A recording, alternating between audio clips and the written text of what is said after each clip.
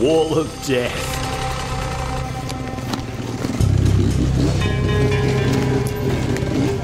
Most of us could barely get over the smallest rocks, but Tim Coleman decides to ride along this row of rocks.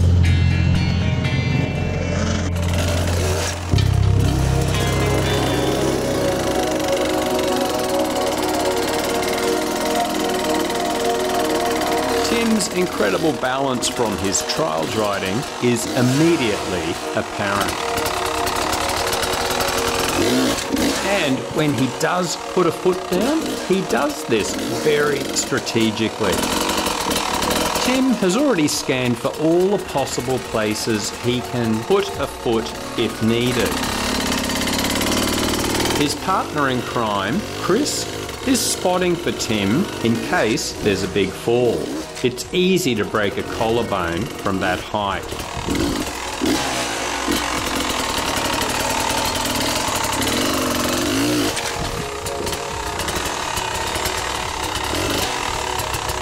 Again, very strategic foot placement.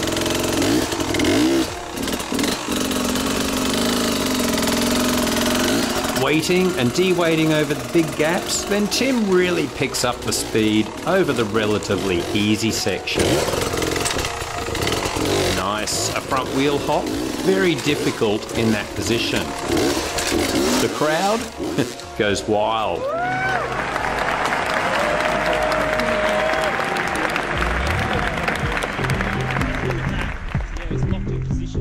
I went through Tim's coaching several years ago, and it's fascinating to see how all the techniques can eventually lead to this sort of trick riding with enough practice.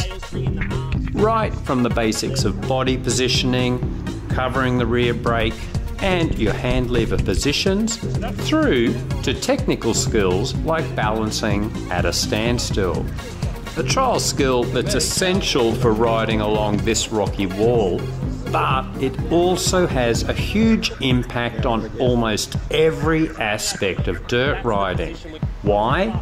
Because it refines your balancing skills so much.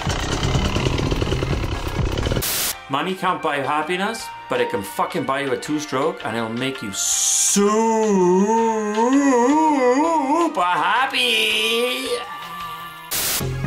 Tim then shows how all of this translates into cornering and doing tight figure eights.